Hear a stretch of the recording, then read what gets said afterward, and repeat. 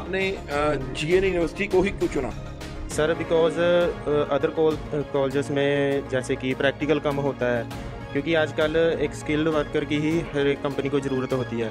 तो इसलिए मैंने प्रैक्टिकल कोर्स चुना जो कि ओनली अवेलेबल है आप सेटिस्फाइड हैं यहाँ पे? यस सर बिल्कुल सेटिस्फाइड हूँ।